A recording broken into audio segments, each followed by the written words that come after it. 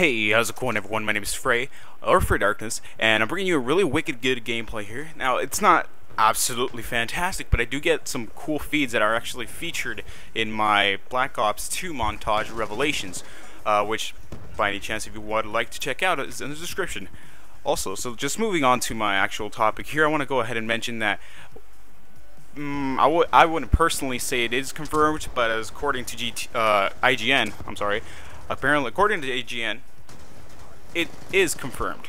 Now this is because they actually managed to get Reggie to say that it may come to Wii U. Now, I don't know about you, but that doesn't really sound like a definitive answer, but according to them, it's been confirmed, so there you go. Take what you will from that.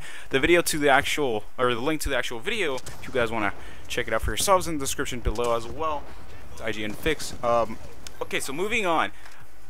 So recently, a, I guess, blogger from IGN got to actually go ahead and test out some of GTA's multiplayer recently, and he had nothing but great things to say according to this article I'll post the link in the description to the article below, of course. Uh, and it just looks awesome. So the article is titled 10 Crazy Awesome Things I Saw and Did in Grand Theft Auto Online. So he has it in basic list. Uh, starting with rob a liquor store together and then betray each other. So the basic breakdown of what happens here is that you can in fact uh, wait for your, I guess, getaway or getaway you can be the getaway driver or you can be the actual person who's robbing the convenience store. You can drive. On the way there you can fight over the radio station. Maybe he wants to listen to something else. Maybe you want to listen to something else. So you can argue about that. Of course you can at any point step out of your car and blow the other person's brains out um, or you could just say I will turn this car around and nothing will happen that day so depending on how much you want it to escalate, you can just keep driving to the convenience store and actually rob the convenience store. Now, so much stuff can happen here. You can uh, wait for him to get out of the convenience store. As a getaway driver, you can wait for him to get back. Or you could leave. Leave him stranded there and let the police take care of it. Or you could actually call the police yourself um, as to betray your partner because, hey, that guy didn't let me listen to the radio I wanted to. You can also um, of course, kill him on the way out and rob the convenience store yourself. So, when you're actually in the convenience store as a robber, you can actually yell through your mic, assuming you have a microphone, to apparently intimidate the clerk, which is really cool. I can only imagine uh, what can be said in these situations. I can only imagine Samuel, Samuel Jackson is the only man that pops up in my head when I hear people yelling profusely to uh, intimidate someone. Um, so that's just freaking cool. And apparently, as the actual robber, you get to decide how you split the money. So you can actually give, I don't know, 10%, 20%, or split it 50-50 as you wish. Or you, of course, you can always kill the person, your teammate, and not give them anything. Or the getaway driver can kill the actual robber and take all the money for himself. There's clearly a lot of situations and outcomes that can come out of this. Number two is race your friends and hope you or other friends don't get in the way.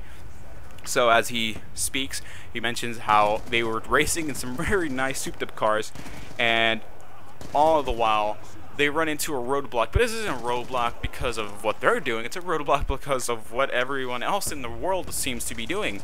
It seems that they managed to rack up quite a bit of stars, and there are police cars, tanks, and all this stuff going down. Meanwhile, you're just racing and trying to not be in the way. So that's pretty funny, and compares it to a Burnout Paradise and Need for Speed Most Wanted shoved in there, albeit in a world 10 times as large, as he says. Number three, steal a freaking plane and land it safely while you friends escort you. So, as he states, it is a mission, or one of the biggest, highest caliber missions in GTA, dubbed Titan Steel. So apparently you get to fly uh, a crew of four from a military base, steal a cargo plane, and get it back to your own airstrip miles away. Uh, apparently, he had trouble landing it, but it's pretty cool. Upon the arrival shootout with the military the Titan's hangar, my teammates covered for me while I jumped into a semi-truck and trailer that was blocking the Titan's escape. So, apparently, a lot of stuff went down. You stole a plane, and it's a big, hefty plane to steal. Uh, number four, full multiplayer golf and tennis. So, of course, there's golf courses and tennis uh, mini games, and compares it to actual Tiger Woods PGA Tour and Top Spin hidden inside San Andreas, so which is really really cool. Apparently, you can. It's not just a mini game; um, it's actually playing mini or golf in a real open, realistic looking world. Uh, five is number chill out and at your house and spark bowl. He states, you can actually hang out with your buddies in your apartment bought with a persistent in-game cache and they can hang on sit on the couch and take hits off your bong. You can even get high which will have screen altering effects. I can only imagine what trouble will ensue after you do that. Uh, it'd be really cool too because it offers different variety of gameplay i assume. Um, also apparently you have a telescope which unfortunately won't look in space it seems but it will magnify the world. So you can actually look out your telescope and I guess go peeping or stuff, and that looks pretty interesting as well.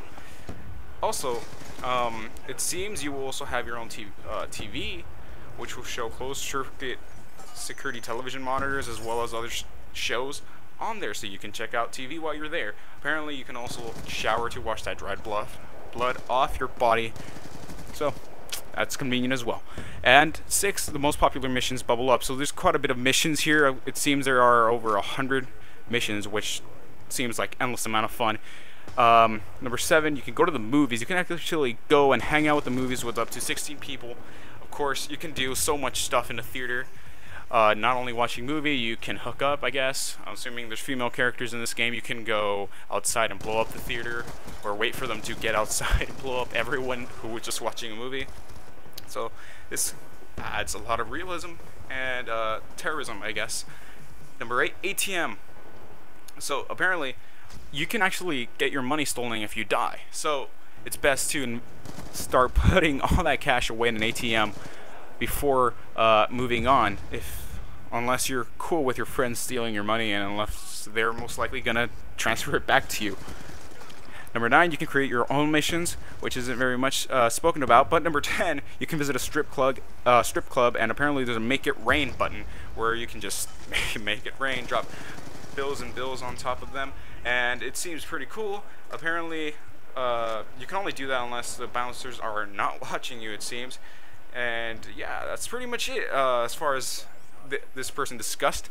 It looks awesome. It sounds awesome. I'm even more hyped than I was previously. I don't know about you guys, but I'm definitely getting it on PS3. I'm sure it will come to Wii U, and I'm definitely getting it for Wii U as well because I want to play with you guys, and this game is just absolutely awesome. It's definitely worth owning twice. I hope you guys enjoyed this video, and thank you for watching.